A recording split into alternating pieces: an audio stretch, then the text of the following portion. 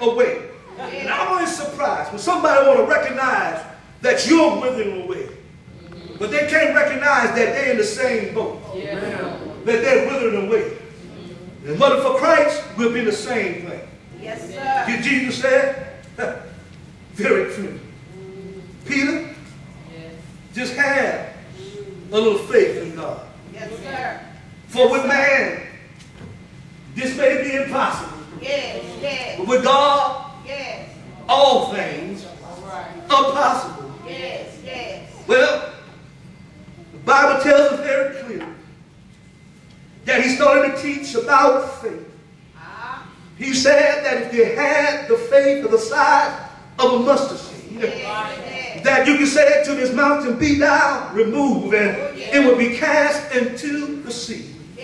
And I like to say to the church that's listening right now, uh, your present condition is not your final condition. All things are possible through God if you only believe. He can take your life and turn it around.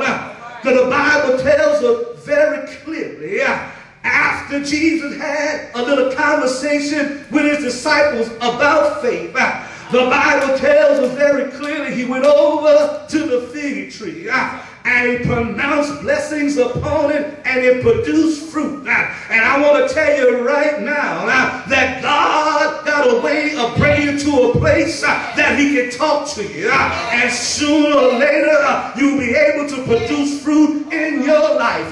what fruit you talking about? well, when you didn't have patience, God will start giving you long suffering and patience.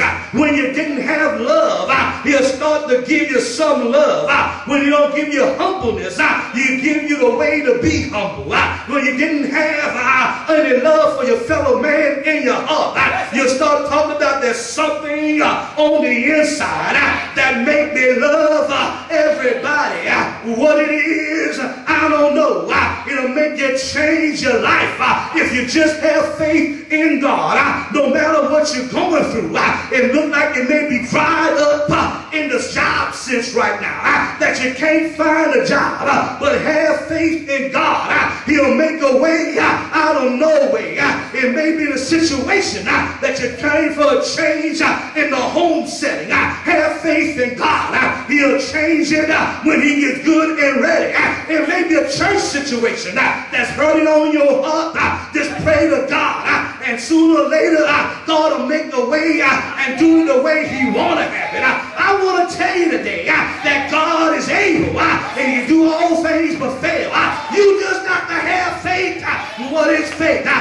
going to trust you uh, no matter what. Uh, I don't care uh, what external things look like. Uh, I know that God is a waymaker. I know that God is a healer. I don't care what the doctor said. I don't care what my boss said. God will.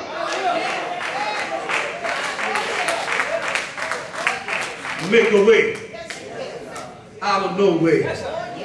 Just have faith in God. That means no matter what, I'm going to trust him. No matter what nobody else does, I'm going to serve him. I don't care what may be, what may come.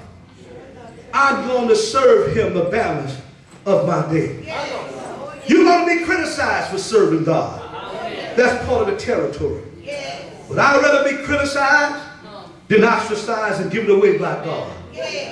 I'd rather have people mad with me than God mad with me. I know that's right. Because he said he'll take care of me. He'll take care of you. God bless you. God keep you. Come on, Larry and Jacob. Just have faith.